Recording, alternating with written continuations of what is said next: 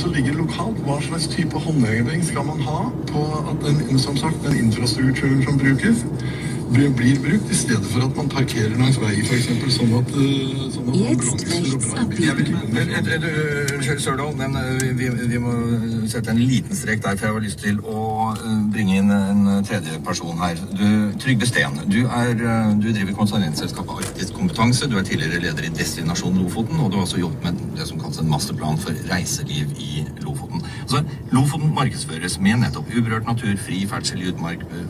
Vi ser bilder på nettsiden av ensomme folk på, eller ensomme vandrere på fjelltopper osv. Har, vi lykkes, har dere lykkes litt for godt med å eh, markedsføre allemannsretten, for å si det sånn? Ja, jeg tror fra næringens ståsted så har det ikke vært en eh, sterk ambisjon om å markedsføre allemannsretten. Ja, men det er jo det dere gjør når vi ser bilder. Altså, det er ikke et eneste bilde på forsida til, eh, til Lofoten, eh, nettsiden, hvor det er mer enn tre mennesker. liksom. Nei, men eh, sånn er det jo også på eh, sågar i organisert bølge.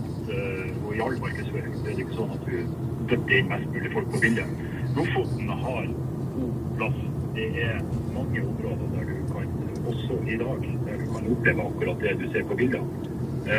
Og det vil et enkelt Facebook-søk i dag vise at det dagsaktuelle bilder viser akkurat det samme. Så blir det jo en litt sånn svartmaling i denne situasjonen. Det fremstår jo som om vi omtrent drukner i folk. Eh, det gjør vi ikke. Eh, jeg tror det skal være all grunn til å stille spørsmål ved det her at vi har én million besøkende. Eh, det tror jeg skrives fra en gammel TØI-rapport i 2010. Der het én million gjestedøgn. Jeg tror vel kanskje at tallet er nærmere 500 000-600 000 hvis du holder cruise og okay. trafikken utom. Det er mange folk for 25 000 eh, innbyggere. Ja, og der er det jo det som er interessant, og som er den problemstilling er relativt ny. Lofoten har basert på kommersielle gjestedøgn ca. 17 gjestedøgn per innbygger her. Eh, Oslo og Bergen har til sammenligning ca. 6 eller 7. Og så er det det andre momentet, det er at veldig mye av denne aktiviteten foregår i, i natur. Og mye av dette er også i det vi definerer som uorganisert ferdsel, altså at folk telter og camper på egen hånd. Nå må jeg spørre deg som markedsfører, Trygve Steen. Hvilke løsninger ser du for å få bukt med de problemene som denne masseturismen eh, fører med seg?